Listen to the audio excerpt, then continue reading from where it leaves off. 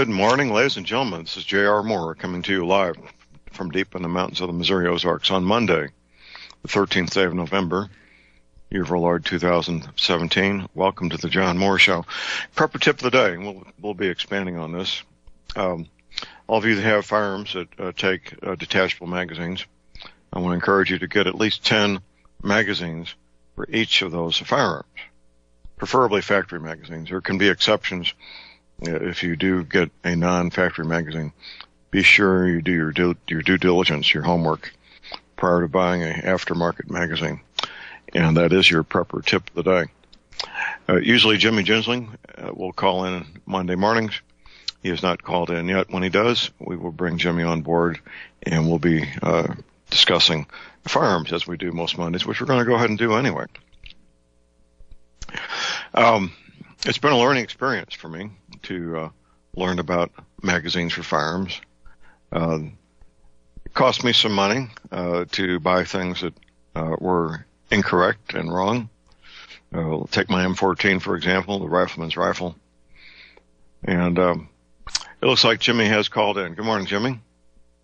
Good morning, sir. I was kind of filling in uh, our engineer there on what's the deal with our phone systems and all. We're working on it. We just can't seem to get the computer to recognize the headset or the uh, microphone. Uh huh. well, technology, uh, isn't it great? When it works, it's wonderful. When it doesn't, it's maddening. Um, I don't know if you heard my prepper tip of the day, Jimmy, but my prepper tip of the day is encouraging everybody who owns firearms to take detachable magazines to buy 10 magazines for each of those firearms uh, mainly factory magazines as opposed to aftermarket. There are some after, excellent aftermarket magazines out there, but you need to exercise caution, don't you, sir? Oh yes, oh yeah. In fact, I'm glad you brought that up. Um, we had an issue with that. Uh, I guess about a month ago, um, customer had a. Uh, it was a production AR platform, and for some strange reason, uh, it wouldn't pick up the first round when when the bolt was locked back and uh, mag was inserted and the bolt was, was released. It would not pick up the first round, and uh, after that, it seemed to function fine. And we tried several different mags, same thing, but they were all from the same manufacturer. Right. And um, got to looking at them, uh, took some of my own mags, and we went through. And um, I had some stock uh, Colt mags, and then I had some that were aftermarkets that I used, different manufacturers, and we found several of them that ran perfectly, and then started comparing those with the ones that didn't, and everything looked perfect putting them side by side and everything else. Took the micrometer. I was going to say, did you get the micrometer out? Yep, got the micrometer out and started checking. And the problem of it was that at the top, what uh, I call it the horseshoe, other people call it the lips, that fold over and keep the rounds in the magazine with the slot between them that uh, allows the bolt to pick them up I noticed on the back of it, and I measured them, the ones that were having problems with the first round, the issue was that the bolt didn't have enough force from, coming from just the retained position to uh, catch that, and it was actually overriding the magazine and missing the round. Right. And took a file and just a little 45 degree uh, cut maybe sixteenth of an inch wide on the curve at the very back on both of those lips, and clean that up a little bit, and never had another problem with it. So the reason I'm bringing that up is, say you do not have access to magazines at some time in the future, um, i.e., buying them new, but you do acquire some and some will feed, some will not. Uh, easy way to do it, uh, other than having machinist blue, to, to look for impact points is to take and rub your fingers on chalk and rub it on the magazine. Now, what it's going to do, it's not going to leave a white color, but it's going to put a gray uh, dust smudge on there.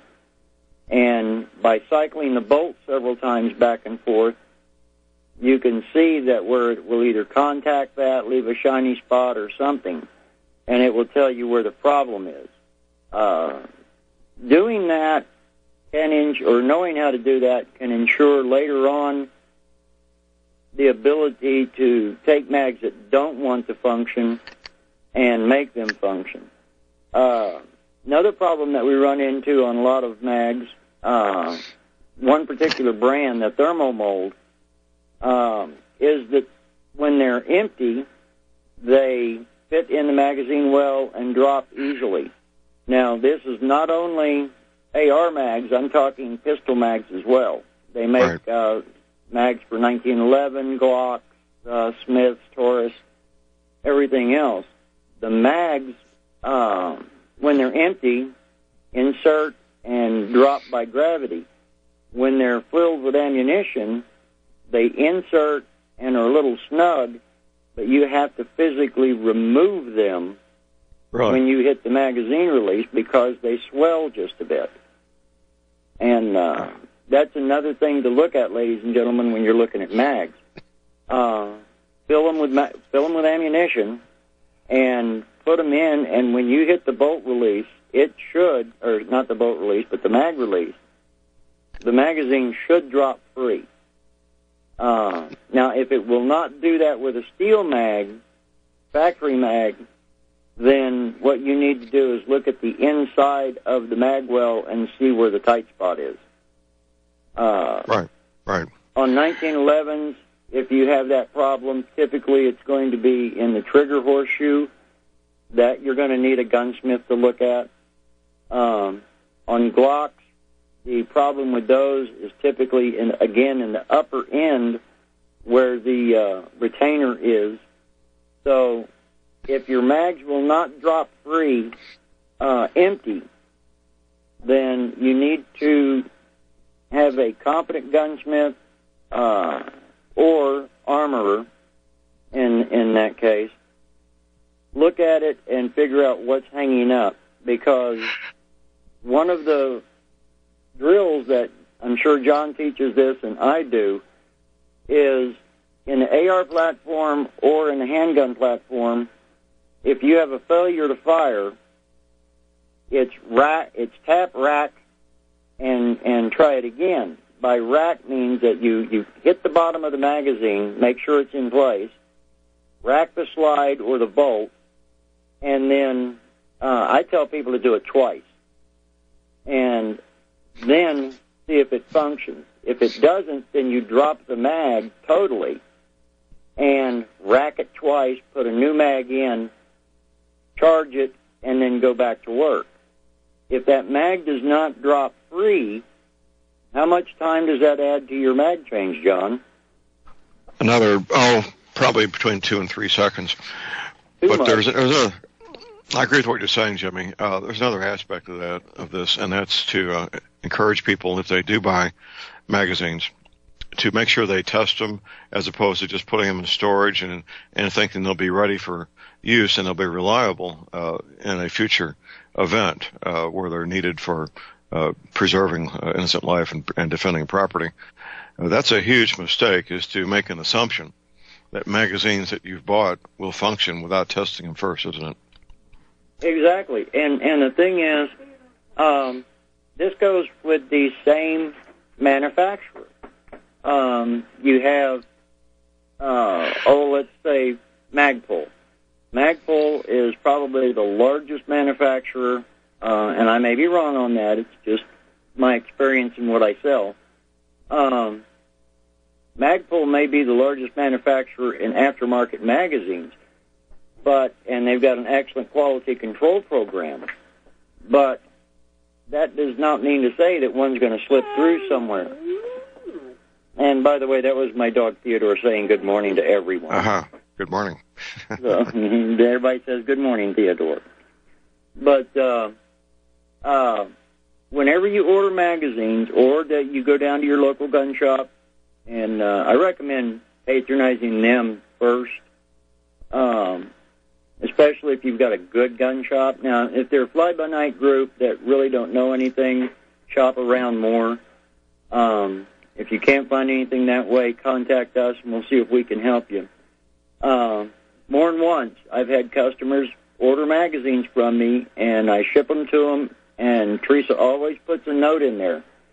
Take these out of the package, put them in your in your firearm, make sure that they fit, make sure that they drop free, then load them with ammo and make sure that they fit and they drop free and then take them to the range and use them and make sure they're going to function. If they don't function, put a piece of tape on them. What's wrong? Put them in a bag, send them back to us, and we'll replace them.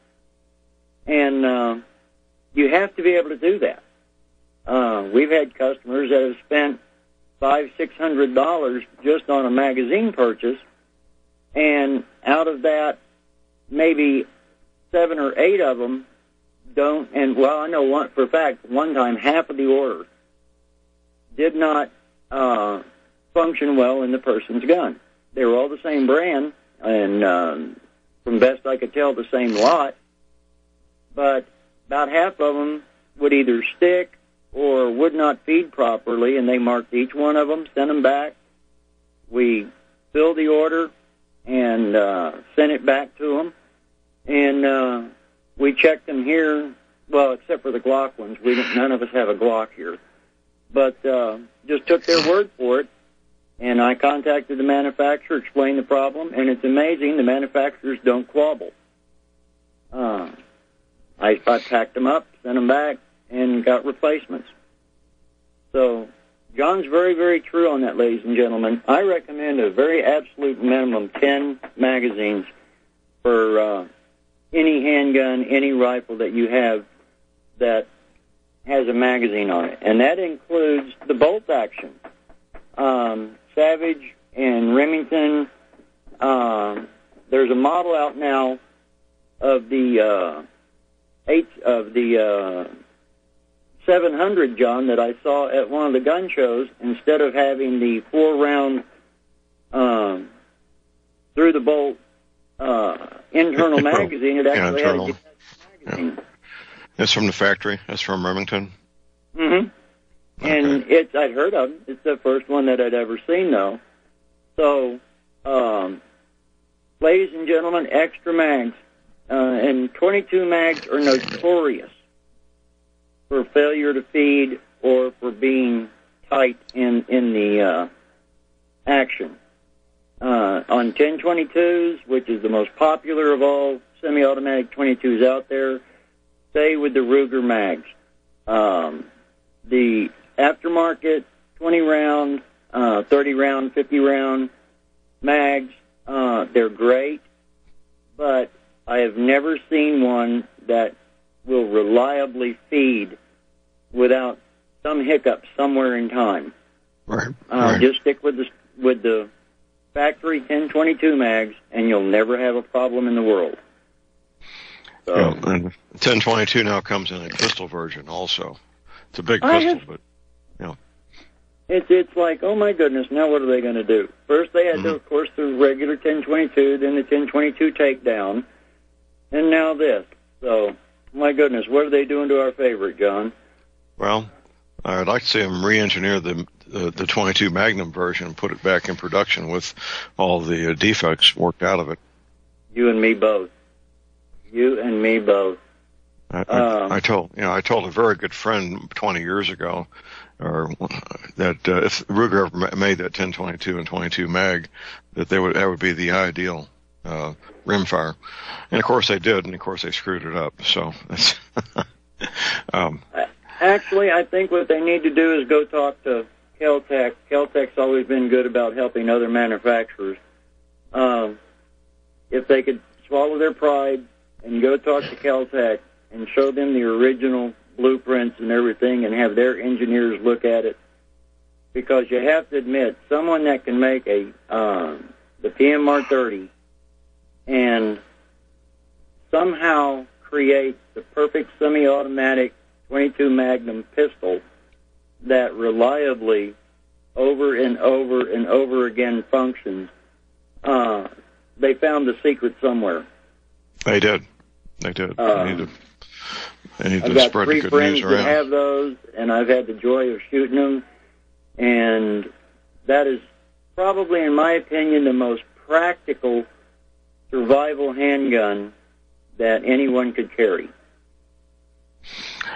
It's it's a dandy. Uh, I haven't had a chance to shoot one yet myself, but I look forward to it. Uh, well, Jimmy, uh, if uh, we have listeners that uh, might be needing magazines, and of course you're in in the business with Desert Eagle Shooters, DesertEagleShooters.com, and if they have questions about magazines or want to order some, is that something you could help help them with? Oh, yes, sir. Um, they can email us at jimi at hdc-nm.com. Uh, they can visit the website and use the contact form there.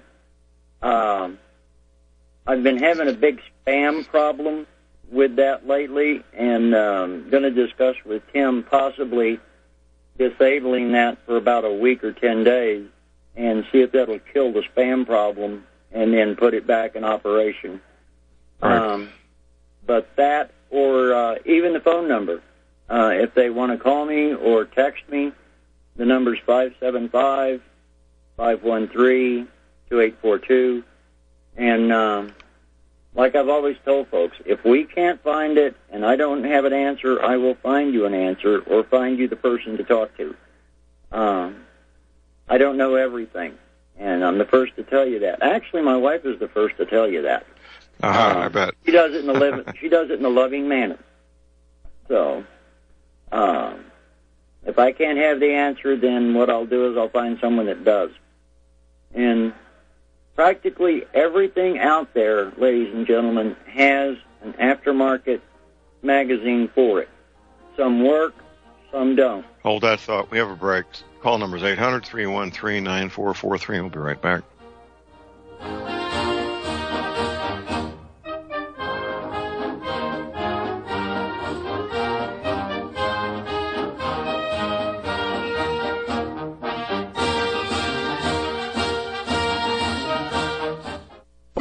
Ladies and gentlemen, J.R. Moore here. As most of you know, my regular listeners, I offer energy cleaners for sale at my website. If you don't have a clue what I'm talking about, go to my website, thelibertyman.com, educate yourself about these marvelous healing devices. We focus on pain mitigation and getting a great night's sleep. Arthritis pain, joint pain, back pain, doesn't matter. Keep in mind, I offer for me to you personally a 30 day money back guarantee. That's what I do. Energy cleaners, $285, shipping included to American zip codes. You can educate yourself all about the energy cleaner right there at my website, the patent application, the wonderful testimonials. Be sure and check out the factory made fitted mattress pads to go with the energy cleaner. Now I offer for me to you personally a 30 day money back guarantee. That's what I do. I have a toll free order line or you can order it right at my website at thelibertyman.com. The toll free order line is 800 592 9543. I say again, 800 592 9543. Thank you. Ladies and gentlemen, J.R. Moore here. It's taken three years before I could offer the inter-shelter domes for sale. During those three years, several different governments and militaries were taking all their production. The inter-shelter dome homes may be just what you've been looking for to provide affordable, energy efficient, permanent, and attractive housing. These dome homes are prefabricated units that can be assembled in a few hours by two men with a ladder and simple hand tools. Check out the photos of these dome homes built in the Arctic, on tropical beaches, in suburban areas, and in forests. All the details, many photographs, and the pricing of the dome homes are listed on the left-hand side of my homepage at thelibertyman.com. I think you'll find these homes are not only attractive, but they're energy efficient and a bonus. You can disassemble them and reassemble them as many times as you feel you need the need to. Pretty great, huh? Something that's very, very unique. Check them out at my website at The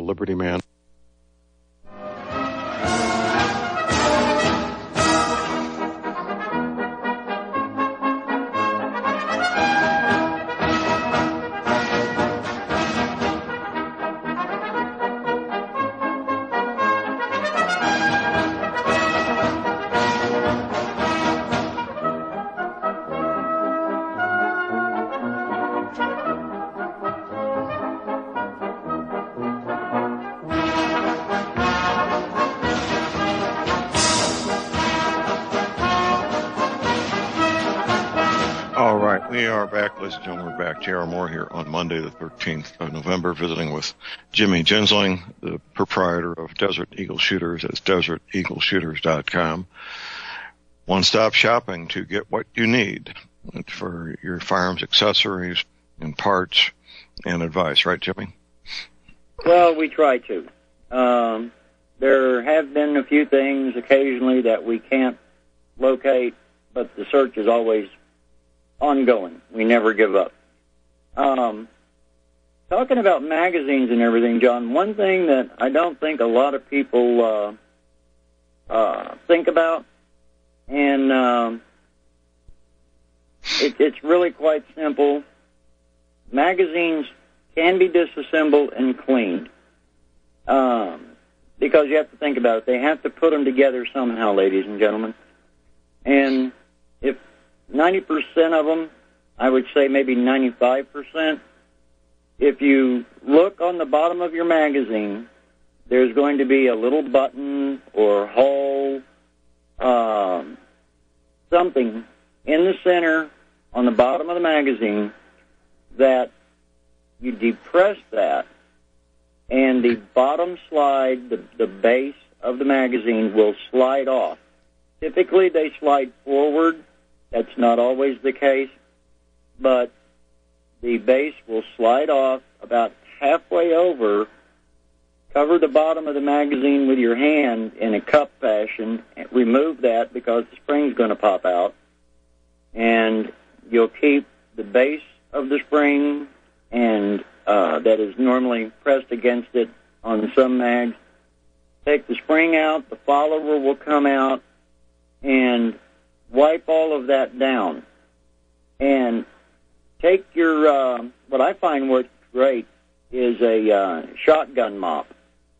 Uh, there's a particular cleaning tool that you can buy, ladies and gentlemen, for all calibers of shotguns.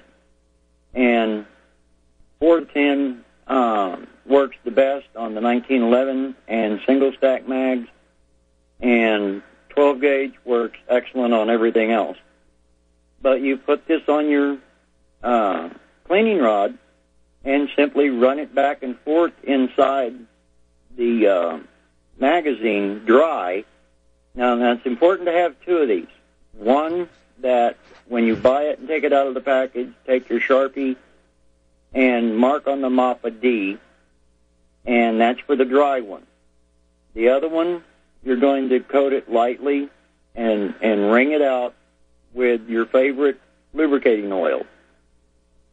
When you do that, make sure you put the one that you put in oil in a baggie so that it won't attract dust and crap and everything else around the shop or in your gun bag.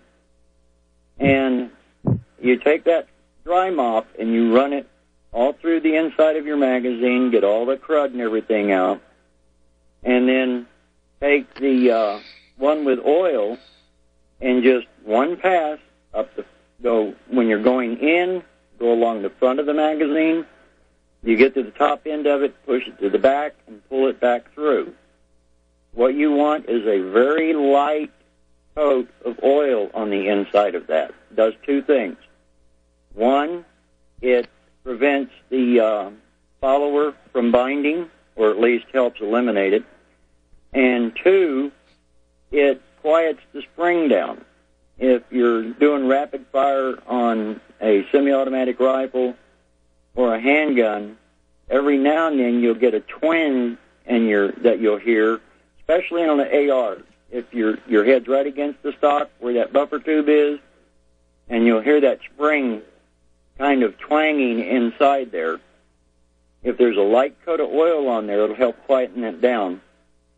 But if you maintain your mags like that, ladies and gentlemen, oh, just once a year, go through them, check them, and uh, look at the mag- look at the springs when you take them out. If the springs are compressed and not at least a magazine and a quarter longer than the mag, you can always give them a little tug and and stretch them out that far. Don't pull them to where they're three times the size of the magazine. That doesn't work. Hold that thought. Jimmy. Hold that thought. We have a break. Call number is 800 313 9443.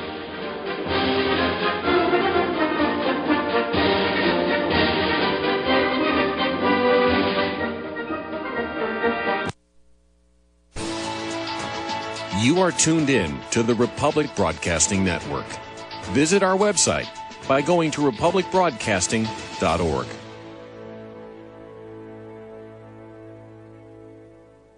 Ladies and gentlemen, J.R. Moore here. We're continuing our energy cleaner promotion, which began August of 2016. In this promotion, you get to buy an energy cleaner, $70 off retail, and a mattress pad, 10% off retail. $200 of the purchase price of the energy cleaner goes to Republic Broadcasting. This is a great way to help get energy cleaners out to people who need them and, have some uh, financial issues to deal with. And of course, a great way to support Republic Broadcasting. Here's what you do. Send in a postcard. My address is John Moore, P.O. Box 201, Davisville, Missouri. We pick a postcard every two weeks.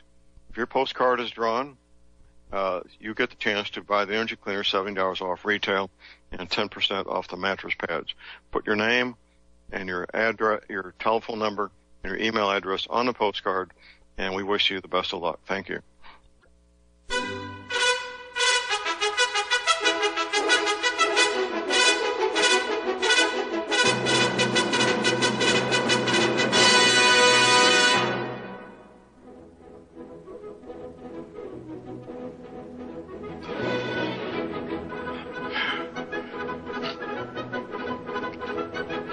All right, we are back, ladies and gentlemen. We're back. J.R. Moore here on Monday, the 13th of November.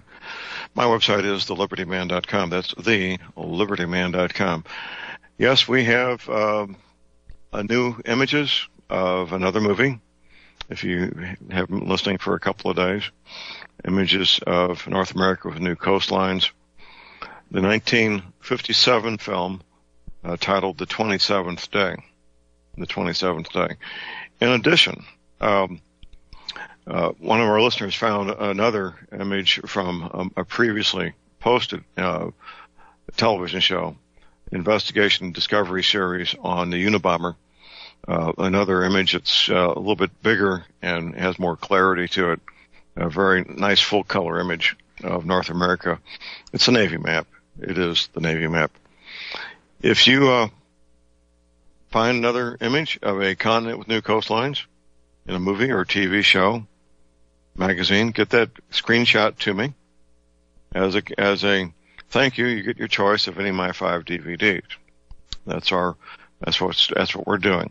We need to be focused on NCIS. We have not yet got a crystal clear, sharp image of that map yet. I know there has to be one out there, maybe more. I'm thinking earlier in the season, uh, in the, earlier in the uh, series is when uh, one might be found. Uh, so let's move forward with that project. It's a fun project. Also, my website, of course, are energy cleaners. Uh, I spoke to Diane Zerger the other day. She hasn't been on with with us now for a couple of years, and um, I've been coaching her on something she's been dealing with, and I, I believe we're going to have her for three or four minutes this coming Thursday. Diane has bought more than a dozen energy cleaners. She's a bright woman. She had a retired from the Air Force and now is in her second career, is about to retire from her second career. Very bright, resourceful uh, woman. And um, the point I'm trying to make is, why would she buy the second one, let alone a dozen of these, if the first one didn't work? Pain, mitigation, arthritis pain, joint pain, back pain, it will help. Not getting a great night's sleep, it will help. You can get the details at my website, only $285 shipping included to American zip codes. And check out the factory made fitted mattress pads. I'm shipping um, a large order to uh, Clifford in the Marshall Islands. Uh, a very large order. Uh, he uh, cleaned me out of inventory. To, I'm placing new orders today to, to get restocked here by the end of the week. Uh, I do take PayPal, MasterCard, Visa, checks can be sent to my address at thelibertyman.com, uh, at my, at, uh, at my website, thelibertyman.com. It's where my address is. Toll free line, 24 hours a day. Here it is, 800 592 9543. I say again, 800 592 9543. Visiting with Jimmy Ginsling, the proprietor of uh, Desert Eagle Shooters. That website is deserteagleshooters.com. And if you got a question or comment, give us a call. Your call number here at Republic Broadcasting is 800 313 9443. Uh, Jimmy, I've always by, been impressed by uh, men or women who have a large number of magazines. It's just something that really impresses me because so few men and women do that, don't they? Oh yeah, they uh, they'll keep enough just uh, go to the range and and have some fun, and they don't take into account, in my opinion, that magazines do wear out, and that uh, over time they're going to get uh, dented. Uh, you want you want to slow down a magazine speed rate, let it get dented. Right, uh, right. That is, and there are. Well, Jimmy, it was uh, it was 40 years ago this year that I got involved with uh, combat pistol competition, and uh, my uh, firearm of choice was my Browning High Power. So I'm out there on the range, uh, you know, at these competitions once a month, and I learned very quickly uh, that magazines are damaged. And they started guys started this is you know 40 years ago guys started taking uh, sheets of rubber and cutting off a, a, uh, a pad and gluing it to the bottom of their magazines to help protect them. Because when you do magazine changes on the range that magazine drops and it's going to hit whatever it hits uh, dirt rock concrete um, and they will get dented and they will get damaged uh, so I've known this for a very long time, uh, and that's one of the things about being involved in competition. Uh, you learn things that you would never learn otherwise, don't you, Jimmy? Exactly. And the most common damage that uh, happens to magazines, ladies and gentlemen, especially when you're doing rapid fire, uh, and you're doing either kneeling or transitions or moving target or whatever, is they get stepped on. And First time it may not hurt it so bad, but you do that two or three times, and you're going to notice that you're going to start having feed problems. Well, and, it depends uh, on who's doing the stepping. Also, if it's a a hundred pound woman or a three hundred pound man, and whether it's on soft earth or, or rock, there's a lot of a lot of variables there. But you're absolutely right. Being stepped on is going to damage that magazine. Yep, and then of course going back to the cleaning deal, you're dropping that mag, it's hitting the dirt, and so um, it, it's just a little detail stuff, ladies and gentlemen, on maintaining your mags and and keeping them functioning. Um, one point that I, I didn't mention a while ago on the mag disassemblies and everything, the no, most notorious magazines for getting dirty is going to be your uh, 22 rifle magazines and your 22 pistol magazines. 22 uh, ammunition is inherently dirty. Uh, it's just the nature of the beast. And the 1022 mags that we were discussing earlier do disassemble. And if you do an internet search, there's instructions on how to disassemble, clean, and reassemble Ruger 1022 mags. Uh, if you can't find it, or some of our uh, listeners, I know for a fact because of the. I actually love getting postal mail, ladies and gentlemen, and thank you. Um, they will write me a letter, John, and ask a question, and we correspond back and forth uh, via Pony Express. And well, uh, I don't have internet access, Jimmy, and they listen on their smartphones um, or on the telephone itself, and mm-hmm. they don't have yep. internet access. Uh, I have neighbors can, close by here that have, have no and, intention. Uh, I can get them the information that they need.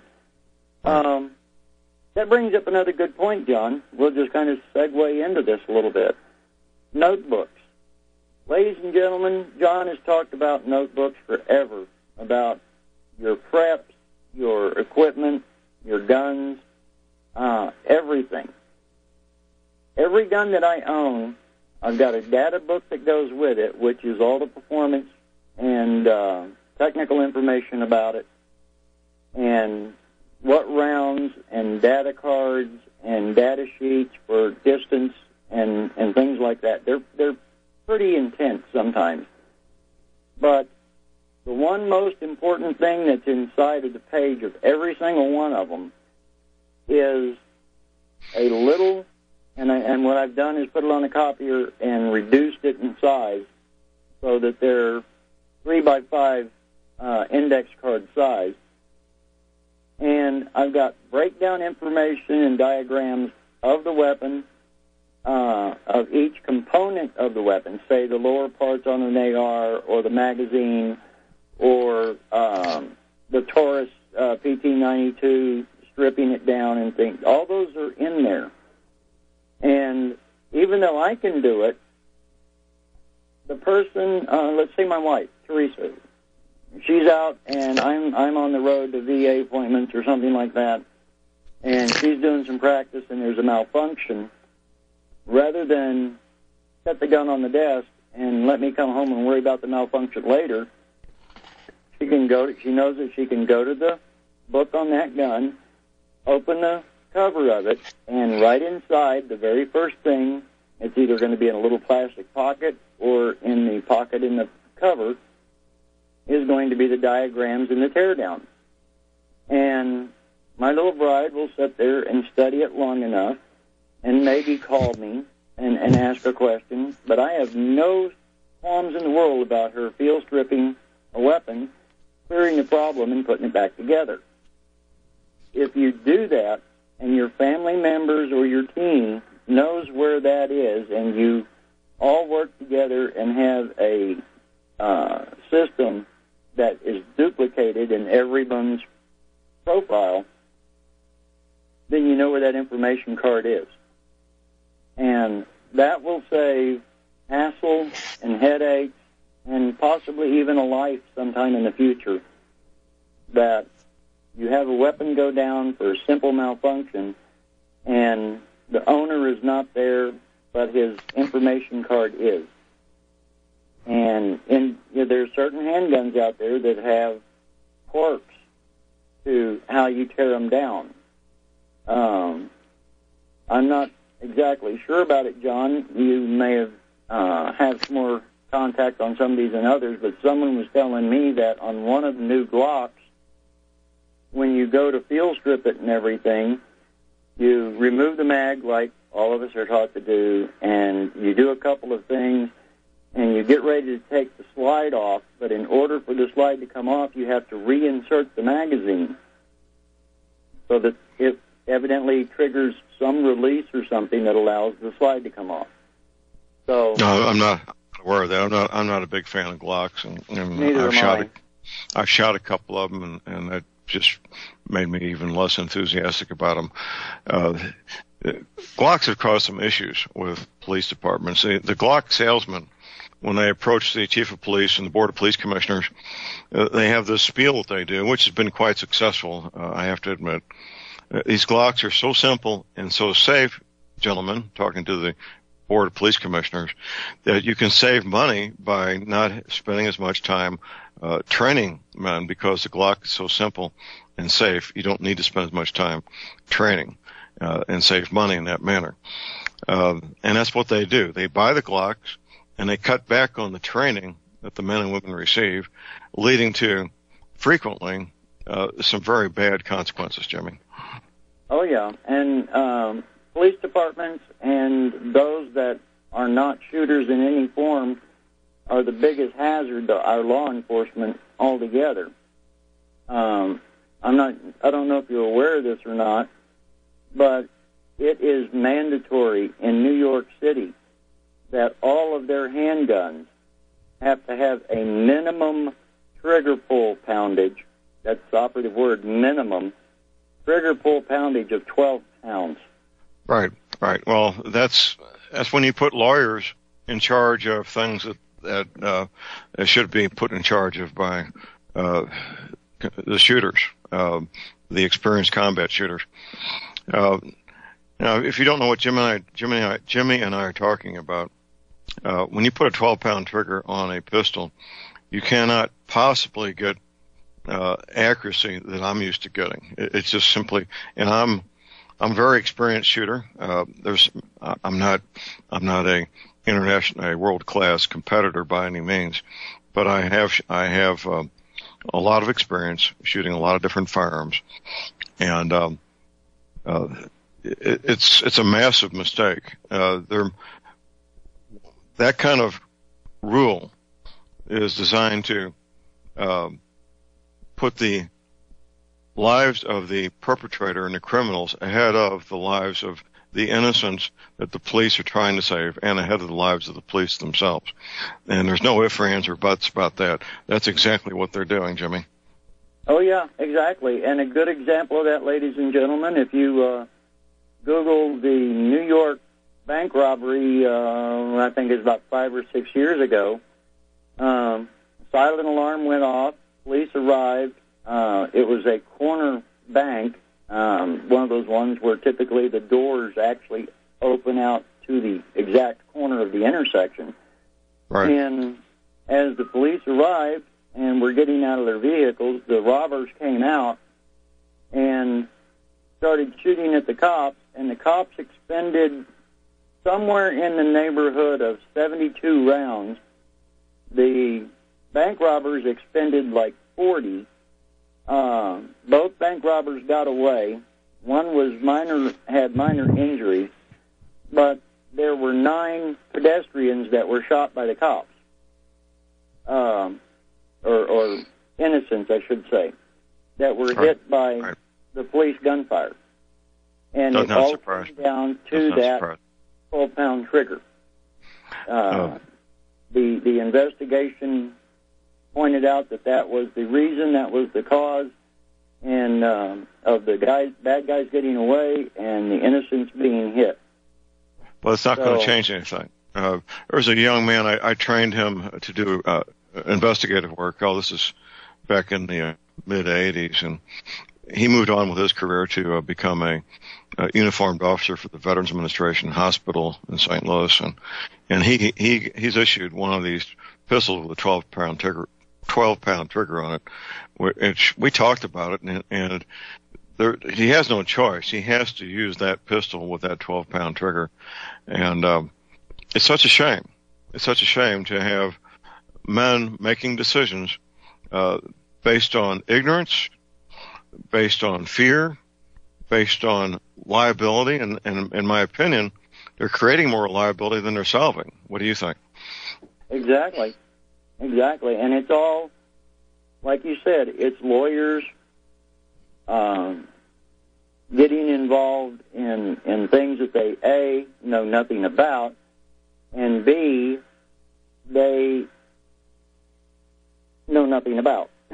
That's just Right. the most simple way to put it. Well, that, that's very true. Now, an untrained individual that is not properly trained and properly disciplined with a pistol with a two pound trigger or a three or a four pound trigger uh, might might make a mistake that uh, wouldn't be made by a, a more experienced person with more training, and so they're they're going the wrong direction. The, the way to cure it is not by increasing the the, the uh, trigger poundage. You know, the way to cure this is to have better trained, more skilled police officers. Yep. And well, the in my opinion, again, ladies and gentlemen, I'm I'm very opinionated this morning. The majority of incidents, law enforcement or otherwise, that happen with a handgun is because people forget rule number three of the four safety rules. Do not put your finger on the trigger until your sights are on the target. People have an inherent uh, habit, I guess would be the way to do it, of when they draw to immediately put their finger into the uh, trigger guard and near the trigger, maybe not on it, but inside. Hold that thought, And Jimmy. Hold that thought. We have a break. We'll be right back.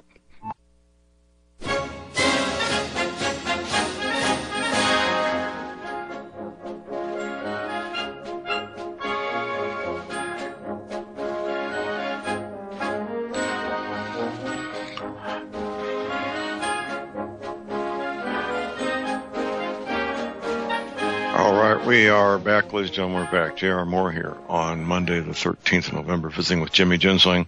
His website is deserteagleshooters.com. Let's continue, Jimmy. All right, sir. Um, kind of running the gamut this morning on it, which is great. Uh, if anybody's got any questions, they can always call us. Um, phone number is uh, 313, excuse me, uh, 1-800-313-9443. But also, ladies and gentlemen, if you do have a handgun or a rifle that does have a trigger that is giving you problems or maybe is stiff or something else, please, unless you are very, very familiar with your handgun and doing trigger work and the geometry that's involved in, in working on triggers, please don't do it. Um, take it to your gun shop, your gunsmith, uh, find an armorer. And the reason I'm bringing up armorers now, John, is Glock and um, SIG are both training uh, certain dealers and everything uh, in the armorer portion of their uh, handguns. Right. So some stores are authorized uh, armorers for the company, and that does mean that they've gone to training for that company. Uh, if they're advertising it and you want to check them out, ask to see their certificates. If they don't show you the certificates, don't trust that they're an armorer because they Right. will be they will have those at the store and they'll be very proud of them. Uh, they will. They will. I, the men I know who have those certificates, they, they uh, have them framed on their uh, wall of their shop, very prominently displayed. Yes, sir. And but if you do have trigger problems, take it to them. Uh, please don't do it yourself. Um, I have a nice scar and uh, the remains of a hole in my right foot on the outside because an individual wanted to do some of his own trigger work, but didn't inform me. Uh, he said he was having problems with the handgun and didn't inform me that he'd done trigger work before uh, I handled it. So, enough said on that subject. Um, ladies and gentlemen, safety is of the utmost importance. When you're practicing your draw, when you're on the range and you're you're training, get into the habit. And this is one that should be muscle memory number one. When you have the handgun or the rifle in your hands at any time, your finger is not inside that trigger guard, is nowhere near that trigger until your sights are on the target and you know what you want to shoot at. That will eliminate 99.5% of the unintended discharges, accidental shootings, and everything else. That that that's number three on the list of of the safety rules, and we stand by those rules 100% here at Desert Eagle when we're on the range. Absolutely, and I support that as well. Absolutely. So, um, again, uh, this morning, first hour, we talked about magazines uh, and triggers and stuff. On the magazines, John, I've had two of our listeners contact me about to order magazines because they had problems with firearms. Okay. Hold that thought. We got a top hour break. We'll be Oh, right back. top hour.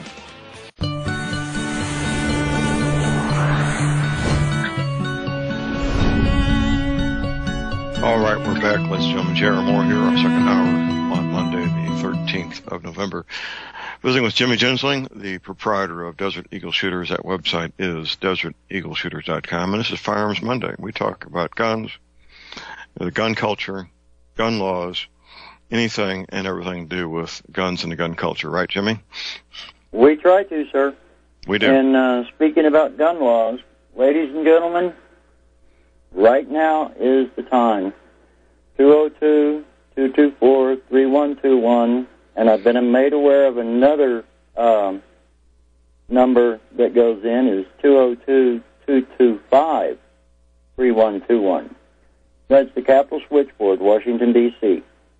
You need to get on uh, your congressman's tails, call them at least once a week, preferably twice, and demand that before the year is out that they get the uh, Hearing Protection Act on the floor, and more importantly, the national reciprocity on the floor and get it up for a vote. Uh, Speaker Ryan tabled it. The the day of the uh, uh, Mandalay shooting in Las Vegas, he it was due to come onto the floor and um, for discussion and vote, and he tabled it with, as uh, Congressman Pearce has told me, he tabled it with no apparent uh, date in the future to bring it up for, for discussion and vote. And It'll uh, be they're going to turn to a a Republican winner is what they're going to do. Uh, the, the people uh, in Congress they know uh, what's going on across this country. The uh, huge pro-gun sentiment around the United States, Jimmy, and uh, we got uh, everybody in Congress gets elected every two years, which will be next year in 2018, and um, it will be a massive victory for the Republicans, I believe, and this will be this will be part of it. That's what that's my prediction. Yep, and they're going they're going to use it as a uh, um, oh campaign deal. Don't let them do that. Tell them that if they're going to use it for a campaign pledge or a campaign deal, brag on the fact that they got it passed. Brag on the fact that that is another uh, irritant of the libs and the gun control left that they put to rest.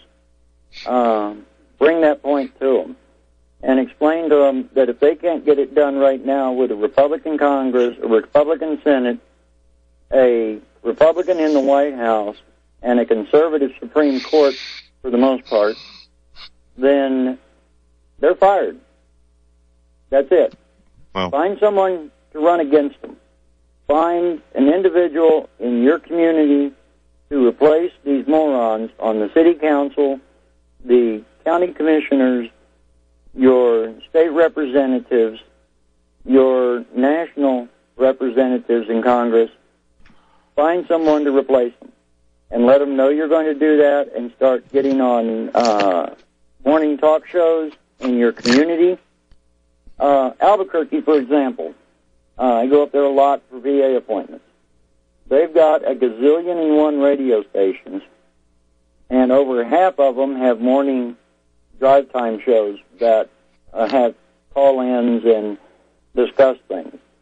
Ladies and gentlemen, if your community is like that, start calling in and start complaining that this congressman or this senator is holding up this bill or that bill or not taking calls from constituents, whatever.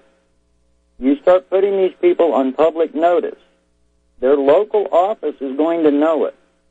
Their local office is going to have a message in the D.C. office that the natives are restless and calling for their removal or replacement. And that does far more to a politician than anything else is to threaten him not being reelected. That is the only thing that they do is they get in office and as soon as they're elected they start working on staying elected. So, ladies and gentlemen, it's up to us. We need we need another uh, April 19th, and instead of 1775, it needs to be uh, every day in 2017 and 18.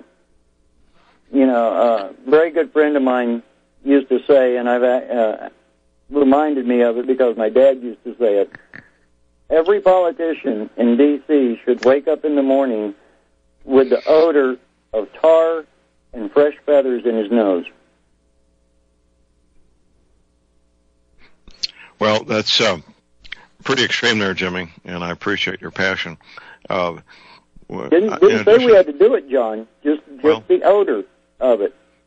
You know, I mean, there's a lot of roofs in in D.C. that they could be retarring at the time, that's but that true. that odor should remind them of history itself and some of the actions that were taken uh, on criminal politicians. And believe me, there's a lot of them in there right now. I consider criminals. I was at a Um, town hall meeting in uh, it would have been oh, 1995, I think it was, uh, in Salem, Missouri, and uh, the uh, the purpose was to uh, uh, convince the residents of Dent County and surrounding areas how wonderful Agenda 21 would be uh, for the Arkansas Missouri Ozarks.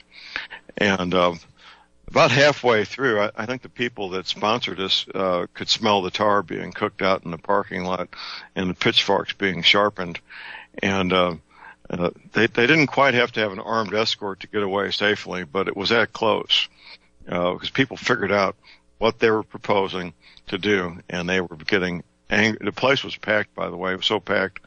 The uh, town hall uh, auditorium was filled to capacity, and they had loudspeakers for people in the parking lot to hear. Um, so I've seen this happen up close and personal, um, and uh, it does get the attention of these politicians. It really does. Uh, I know uh, former Senator Jim Talent experienced that uh, the first town hall meeting he had after he voted uh, in favor of the uh, assault weapons and high capacity magazine ban in 1994. It was the last town hall meeting he ever had in his career. He never had another one again. Um, and um, the anger was so thick you could cut it with a knife in that room. Yep. So these these uh, I say good also. Uh, these events, uh, these town hall meetings, uh, do have an effect and does get the attention. They get they get to the point where they feel physically threatened. It does get their definitely get their attention, Jimmy. Oh yes, and uh, something that I was discussing over the weekend uh, with one of our friends that, um, like down here in New Mexico, Heinrich has not had. He's our one our senator uh, one of our senators down here, he has not had a town hall meeting uh, since last election cycle, I believe. Um, none in in the southern part of the state. He'll have them up around Albuquerque and um, the Democrat enclaves of New Mexico all the time. But a friend of ours brought up the fact that they are organizing a town hall meeting for Mr. Heinrich. They're going to notify him that they are having it. They're going to tell him when it is, where it is, and you know, with a couple of months' notice, and it's going to go on with or without him. Right. And I kind of thought about that for a minute, and um, you know, I looked at him. I'm going, okay, what happens if he doesn't show up? And he goes, well, we're going to have the press here. Do you think that's going to be the uh, headline that he wants to see the next day? Uh, right. So it's a good point. Ladies and gentlemen, there are ways to get their attention. And we've got to do that. I mean, our gun rights are constantly under attack, and the, the scariest part about it is for everyone that we know about, there have got to be at least 20 in the wings that we don't because they're going to be on a local level, they're going to be on a state level, and we have to stay on top of it. We have to become proactive. And um, that, that's just basically what I'd like to say about that this morning, ladies and gentlemen. If you have, um, if you have someone running for office and they're having a town hall or a get together or a debate, bring up the uh, Second Amendment and force them to give you an answer. Don't let them give you a non-answer. Uh, don't let them talk about, oh yes, when I was a child I loved duck hunting and everything else. Next question, please. Right. Don't let it well, go. Yeah, and that's what they do. Even even uh, anti-gun people like Hillary Clinton and uh, uh, Hussein Obama will verbally support the Second Amendment when nothing could be further from the truth. So, you know, but I don't want to dwell on this too much longer, Jimmy. But I want to urge people if they have a, sheriff's election uh, this coming year in 2018, that they uh, have a candidate that will verbally support the Constitution of the United States against all enemies, foreign and domestic. Uh, that's very important that they will have that candidate, that, that they understand that. Um, but let's uh, let's move back to firearms and get away from the political yes, stuff. Let's, uh, um, let's get back over here to where we were. Um, ladies and gentlemen, another thing, and, and today we're kind of basically just talking regular, uh, everyday maintenance and and things like that. When we went to the top of the break, I was telling John, I've had two of our listeners contact me about um, probably uh, replacing magazines because of problems with feeding. And I went through the cleaning, lubricating deal with them and asked them. I says, "Well, try that first, and and see if that is it. And if that's not it, get back with me. I'll go ahead and look up magazines and be able to have you some prices and everything." And in both instances, they contacted me back, and sure enough, that that was the problem. Grit, a little bit of dirt, dust, things like that that had accumulated in them over time affected the way that they fed. So not only is it just it's good maintenance and good practice, ladies and gentlemen, it saves money because sometimes you'll replace things that weren't a problem. And uh, another thing on your rifles and your handguns, the sights on them. Uh, thank goodness we have finally bypassed our distributors and everything and become a direct dealer for Williams gun sights. And uh, Williams sights go all the way back to the 1800s.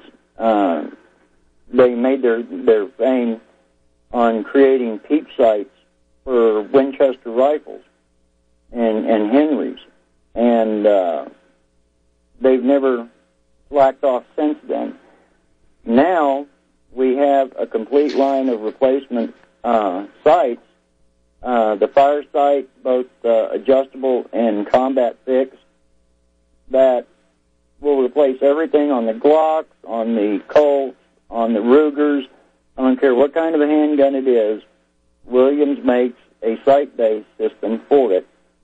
And these fire sights, John, um, you know, tritium sights is the rage right now with everyone. Right. Tritium sights are actually radioactive. You have to charge them up, and then during the night when their charge runs down, and by charging them, you leave them in the sun. Um, some of us that are old enough to remember used to have uh, watches that had radium faces on them, and the the hands glowed and the, everything. Well, that was the, basically the same thing in these new sights uh, new old technology. But the Williams fire sights are fiber optic, and the slightest amount of ambient light, and you can find these sights.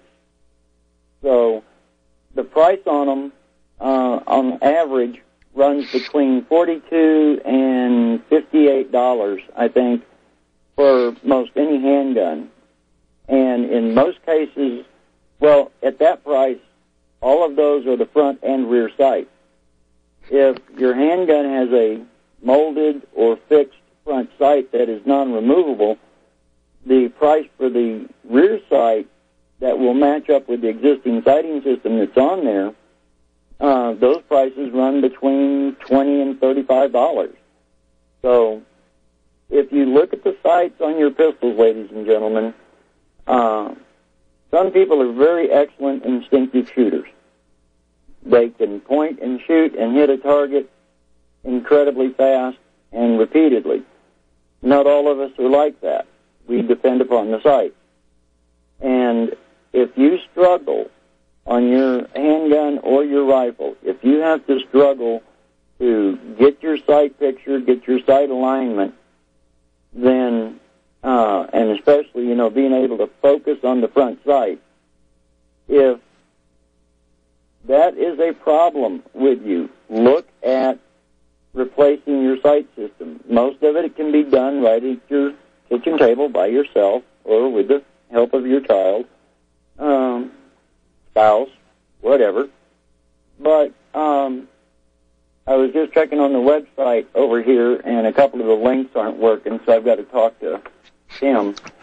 But um, the uh, sights on your handgun and everything, they're the deciding factor on hitting the target.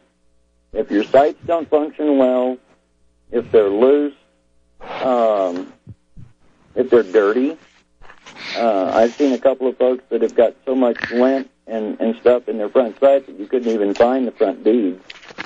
Um, that's something to look at, ladies and gentlemen. Another place to look at on your handguns and your rifles is the grips.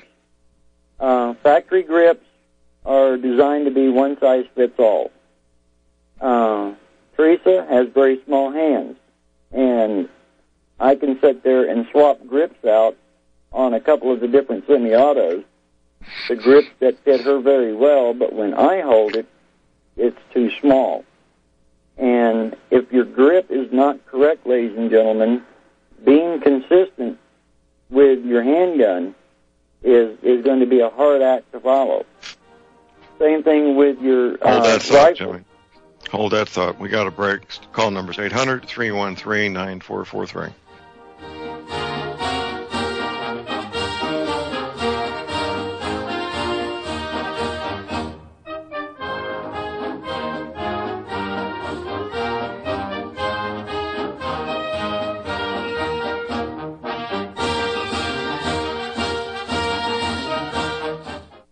And gentlemen, J.R. Moore here. It's taken three years before I could offer the inter-shelter domes for sale. During those three years, several different governments and militaries were taking all their production. The inter-shelter dome homes may be just what you've been looking for to provide affordable, energy efficient, permanent, and attractive housing. These dome homes are prefabricated units that can be assembled in a few hours by two men with a ladder and simple hand tools. Check out the photos of these dome homes built in the Arctic on tropical beaches, in suburban areas, and in forests.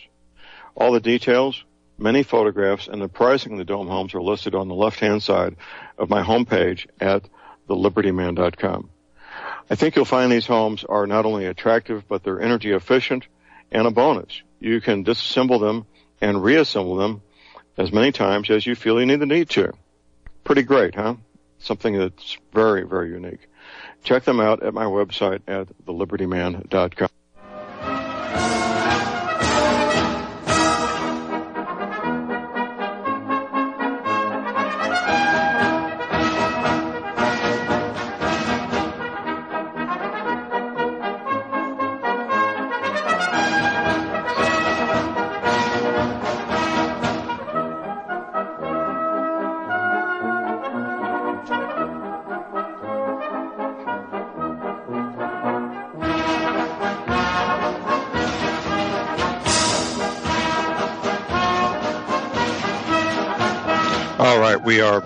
back, ladies. We're back. J.R. Moore here on one, Monday, Monday the 13th of November, visiting with Jimmy Ginsling. He's the proprietor of Desert Eagle Shooters. That website is deserteagleshooters.com, a place where you can get excellent professional advice as well as the things you need to keep those firearms functioning. Let's continue, Jimmy. All right, sir. Um, we were talking about the grips and everything. There are a couple of manufacturers, ladies and gentlemen. Um, Pachmayr has been around for years, for eons practically. Uh, Hogue is another manufacturer. Um, if you if you can take your handgun and make it fit your hand better, and then your trigger system on it, you have your gunsmith or your armorer look at it and either replace parts or improve parts on it. Um, and you keep your mags clean and everything like that. You're going to be very much more consistent in your shooting. Uh, that's what we look for. Not, you know, accuracy is is great, and being able to shoot nice, tight little groups uh, at distance is fantastic. But the important thing is when it comes down to the pinch, uh, putting meat on the table or protecting your, your family. Hitting the target is the most important thing. And hitting the target uh, is meaning to be consistent so that you ha- you know how the gun performs and you get out there and you shoot nice, nice target center of mass impacts with your handgun or with your rifle. The the point I'm trying to make is not everyone is going to be a world class championship shooter. Uh, if they did, then world class wouldn't be that great of a thing. Well, I, I know what it takes to do that, Jimmy. Let me interrupt you. Uh, the high level competitors, high level competitors that, that, that win. It doesn't matter which uh, part of it, if it's uh, skeet shooting or combat pistol competition, precision uh, marksmanship with rifles. It's basically all they do. They they they have their day job, and then everything else they do involves that sport. Uh, typical precision, uh, long range uh, uh, rifle shooter competitor, high powered rifle competitor, is what I'm trying to say. They'll go through between five and six thousand rounds each uh, season uh, both in, in competition and, and in practice, which means changing out the barrel at M14 uh, every season also because that's the barrel life of an M14 between five and six thousand rounds. Uh, so no, uh, that kind of dedication is something very few people uh, will have the time or the money to do, Jimmy. But it doesn't mean you can't compete.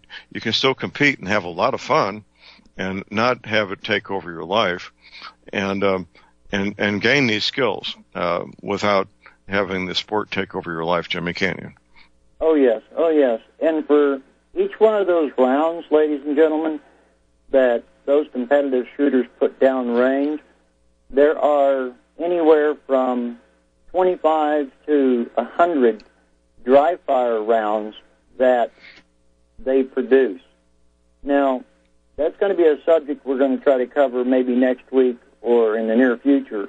But in the training realm, dry fire is the most effective way to build confidence, build muscle memory, and hone any particular skill in, in either handgun or rifle shooting that A, does not entail expenditures of money because you're dry firing. All the ammunition and everything is in another room. And B, there's no noise, there's nothing to disturb anyone, and once you get into the, to the mode of practicing like that, it becomes very, very relaxed, and you can focus exactly on uh, what you're doing. and, absolutely. Uh, Hold that thought, Jim, and we ought to bottom the hour break. The call number is 800 313 9443. Right back.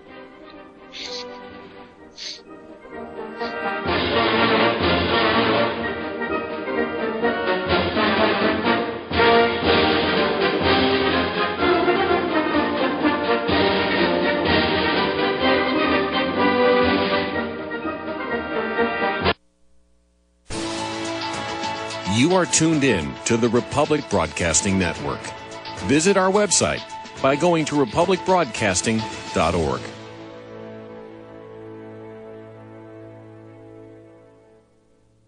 Ladies and gentlemen, J.R. Moore here. We're continuing our energy cleaner promotion, which began August of 2016. In this promotion, you get to buy an energy cleaner, $70 off retail, and a mattress pad, 10% off retail. $200 of the purchase price of the energy cleaner goes to Republic Broadcasting. This is a great way to help get energy cleaners out to people who need them and have some uh, financial issues to deal with. And of course, a great way to support Republic Broadcasting. Here's what you do. Send in a postcard. My address is John Moore, P.O. Box 201, Davisville, Missouri. We pick a postcard every two weeks. If your postcard is drawn, uh, you get the chance to buy the energy cleaner $70 off retail and 10% off the mattress pads. Put your name and your address, your telephone number and your email address on the postcard and we wish you the best of luck. Thank you.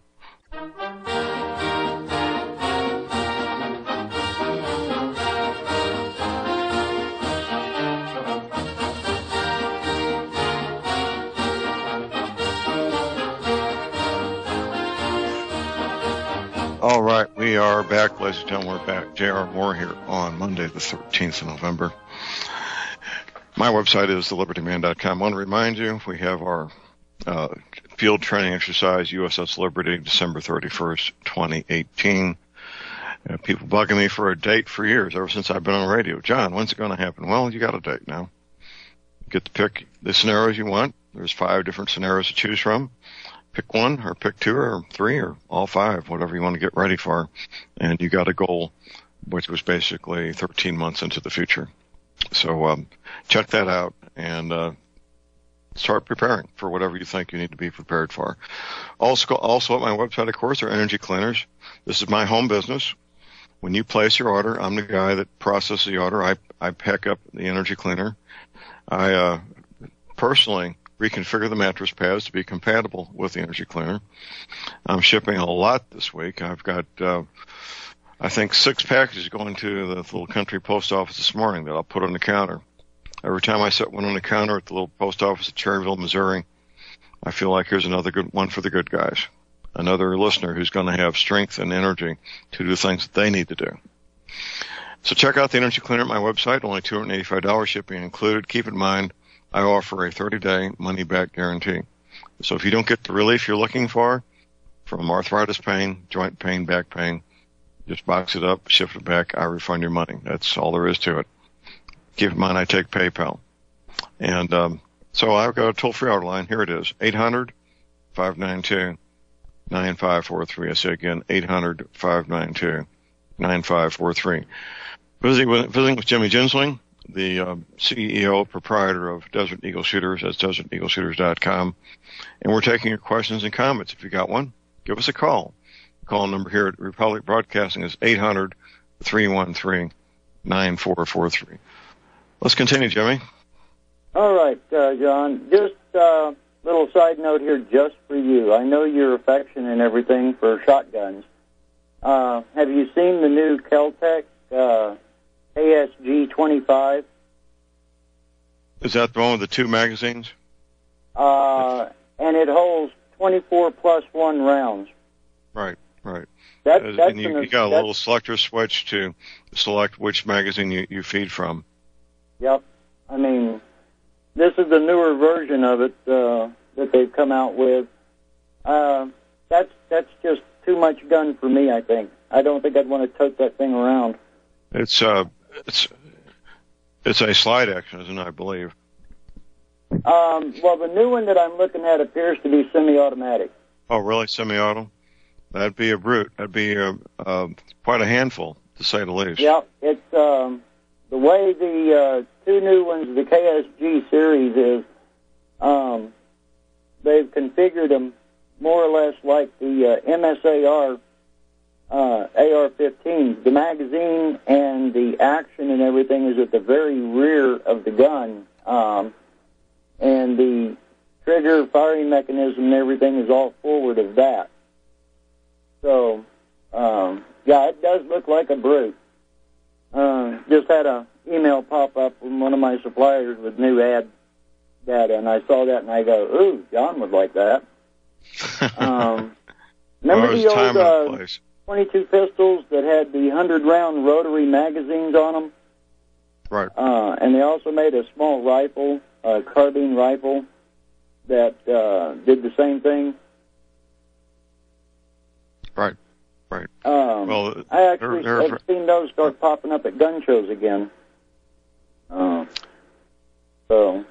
Well, the, the feds the got all all crazy when that first uh, uh, shotgun came out with that drum magazine, and they they basically classified them as a, as a machine gun after several thousand had already been sold. Oh yeah, yeah. Well, but we're way past that. We're we're, we're way past what that drum magazine and shotgun was capable of, aren't we? Oh yeah. In fact, um, I was watching a video the other day, and uh, the man makes an excellent, excellent point of how the shotgun is the perfect home defense weapon, and uh, his the man can definitely run a shotgun. Uh, myself, I'm average at best with a shotgun. Um, I'm, I'm more of a uh, rifle and handgun guy. But, um, you know, ladies and gentlemen, whatever weapon that you have, now, John and I, you know, in our discussions on these shows on on uh, Monday mornings, we've covered ARs, we've covered um, all the, the FALs and and all other kinds of uh, semi-autos and you know talked about single shots and all. The most important weapon that you can ever use is the one that you already own. Um, it may be old and it may be beat up, but if you are familiar with that rifle, if you're familiar with that handgun, then just make it a little bit better. Maybe improve it a little bit, new grips or sights. Um, but don't let anyone convince you that in order to be safe or to be able to take on bad guys or anything else that you have to go buy a new gun um, or a new style gun. That that is not the the uh, the quest of it and everything. Sure, it's the quest of all the salesmen and everything. Uh, in their mind, everybody should, you know, have a full size armory the size of a you know double uh, walk-in closet or whatever. But whatever it is that you've got, if you learn to use it and use it proficiently, you are just as capable of protecting your family or putting meat on the table as individuals that have the three and four thousand dollar custom built rifles, uh, or the uh, four or five thousand dollar custom uh, Colt 1911s and things. Price is not everything. It's comfort and consistency. As long as you can be comfortable with your preferred weapon and you're consistent in your accuracy. That's what we that's what we shoot for, pun intended. Consistency. Um, had a friend several years ago, customer, and and most of our customers become friends. Um, this individual, we were working with them, and it just, you know, in scoring targets, they could never get over, you know, eighty percent and most of the time that they were right in the mid to low 70% on score. But, and, and, uh, Robert was just, he was frustrated. He, he couldn't, you know, and I told him, I says, look, doesn't make any difference. At 25 yards with a handgun, you're scoring in this range and you're consistent. That's all that matters. If it comes down to a situation to where you have to protect your family, or protect, you know, back up a police officer or something that is critical, you're going to shoot fine. It's not going to make a hill of beans difference because you're consistent. And that made him feel a lot better, and it made him understand that not everyone is going to be a one-hole wonder. Uh, those people, ladies and gentlemen, are few and far between, and like John was saying earlier, they fire thousands of rounds a year in practice. So, for us out here in the working world and the average person, um, as Sean Hannity put it uh, that last election cycle, the forgotten man and woman, uh, consistency is far more important than a one-hole wonder. Uh, so always look at that. And if you've got a if you've got a particular weapon that you want to look at improving somehow, maybe do a different stock on your rifle or shotgun or whatever, contact us and let us see what we can do to help you. And uh, there's there's options out there for everything. But please, I, I do ask you to, if you do trigger work or anything like that on your on your guns, have a competent gunsmith or armorer do that for you. Um, sure, they'll let you. Uh, I'm I'm pretty sure that they'll let you sit there and watch, so you can learn how the components go together and what changes are being made. Um, which is a great. Well, I wouldn't. Well, I wouldn't make that assumption. There's, you know how it goes back together. I wouldn't make an assumption that that they'll let you watch because uh, some people get nervous being watched while they work. Uh, that may True. or may not be the case. Yeah, that's I'm. I guess I'm kind of lumping myself in there. You know, if customers want to, you know, sit there and, and watch what I'm doing and ask questions, I, I normally don't have a problem with it. Um, the only place that I do uh, draw the line on that is when I'm chambering a barrel or something, because at that time I'm I'm focused 100% on one thing and one thing only. And uh, mistakes doing that get quite expensive very quickly. Oh yes, absolutely. Yes. But um, ladies and gentlemen, you know we're almost. We've got a few more minutes. Uh, we could take a call, maybe two, if uh, someone wants to holler in and got a question or a comment. But John and I are are here. We've opened our lives to the public, and in doing so, what we've said is, without saying it, is if you've got a question, if you've got a problem that you're trying to solve, um, contact us. Drop us an email, uh, give us a phone call, whatever method that you prefer. But uh, you know, I tell people I don't run nine to five hours. If it's seven or eight o'clock at night and you've got our phone number, which again is five seven five five one three two eight four two, and you have exhausted all avenues or just flustered with the answers that you're getting from other people, give us a call. If I can't answer the question, I've got a wealth of uh, people that I can go to and I can ask. And, you know, most cases when it gets down to points like that, I'll talk to them, pave the way, and then I'll contact you back and give you their contact information so that nothing gets confused in uh, the conversation. Uh, on the OOPS kit, for our uh, listeners that have contacted us, John, finally, uh, last Thursday when we got a shipment in, I finally found the part number and the source for the AR platform OOPS kit I've been trying to find. We carried it several years ago, and uh, I lost the the product description and uh, wound up finding it again. But for the AR platforms, AR-15, AR-10, this OOPS kit is the best I've ever seen made because they put in it at the price everything that I can't match by by ordering bulk of individual parts. This particular OOPS kit costs twenty dollars, and for the AR platform, it has got two of everything, and that means uh, on your front and rear takedown pins, you actually have four springs and four pins because there's two for each one of them, even though they're identical. But what is unique about this kit is that it actually has a uh, replacement extractor spring and pivot pin in this kit, and it also has a two replacement uh, cotter keys that hold the firing pin in the bolt. So, as far as the absolute best and most complete uh, OOPS kit, I finally found the one that I've been looking for. We've got them on order.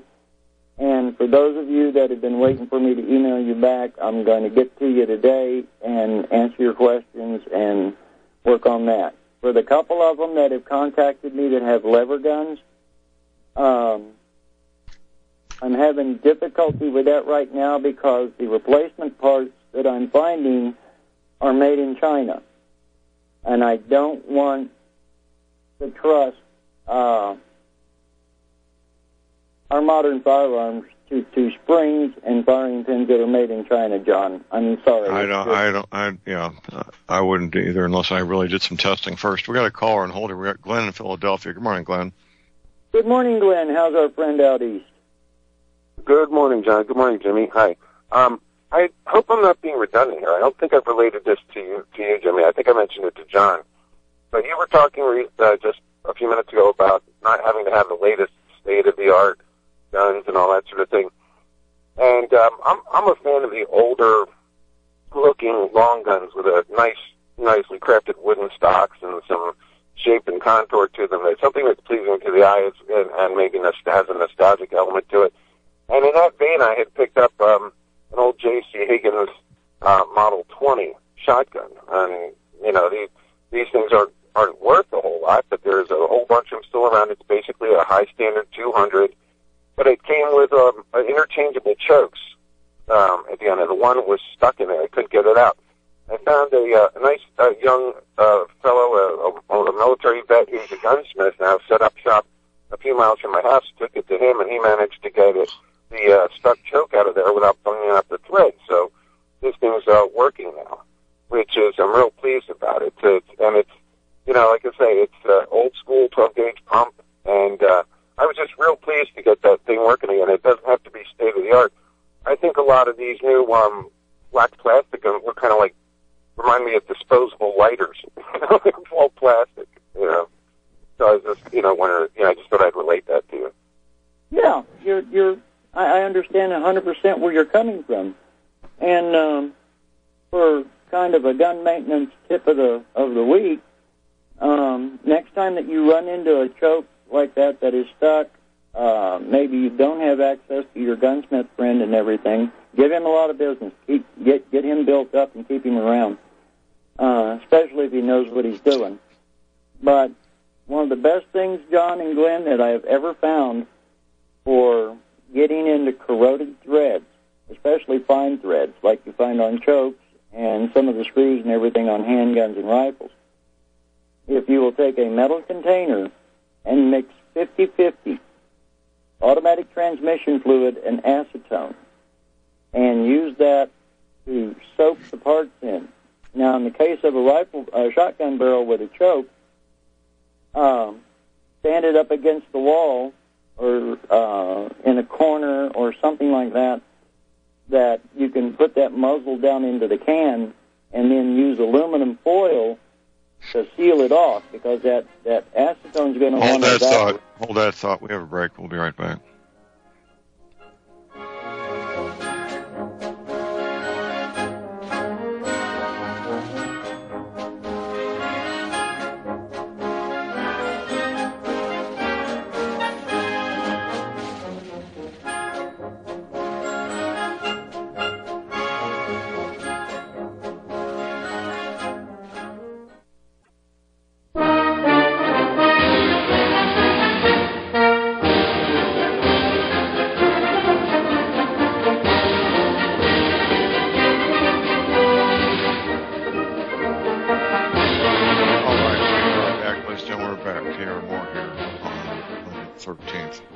Continue, Jimmy. We've got about uh, four minutes here, three minutes. Okay. Um, well, I was saying, Glenn, John, if you take a uh, metal container, uh, that's because of the acetone, and mix 50-50 automatic transmission fluid and acetone, and in the case of the uh, shotgun choke, make sure that it's unloaded, of course, clear the weapon and all, and stick the muzzle with the choke in it down in that solvent, then take aluminum foil and seal it off fairly tightly. Uh, that acetone is going to want to evaporate. But if you'll let that set overnight and then take it out the next day, let it drain uh, on a cloth or something, and then check to see if the choke will turn uh, with your choke wrench. If it moves at all, say it say it turns just a little bit and stops, then turn it back the other way, rock it a couple of times, and stick it back in and let it soak. What you're going to do is, over time, you'll be rocking it back and forth and knocking that corrosion loose, and then you'll be able to eventually take it all the way out and not damage the threads. Um, I've had real great success with doing it that way, Glenn.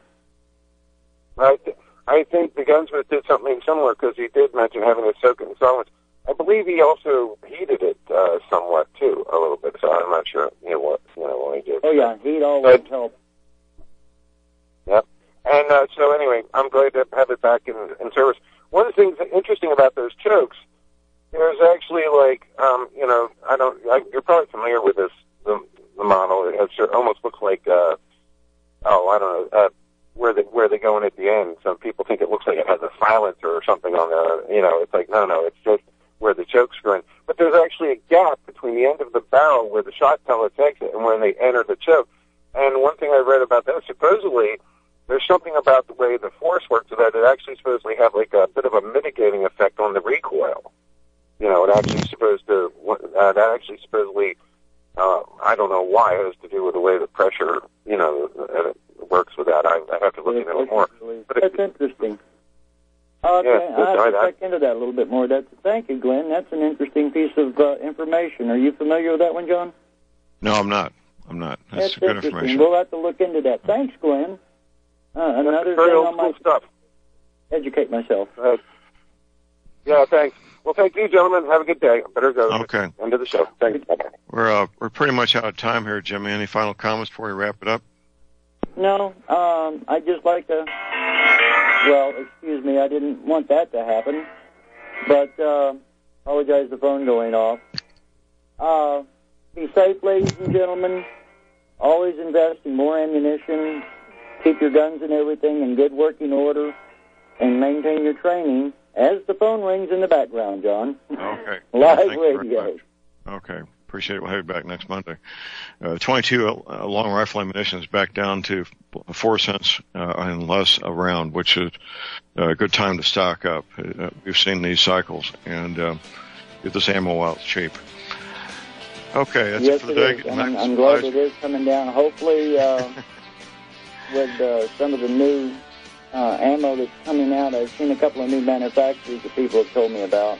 Right. Uh, Right. Haven't played with it yet, but evidently they're making very quality ammunition at a reasonable price. Right. Thank you, Jimmy.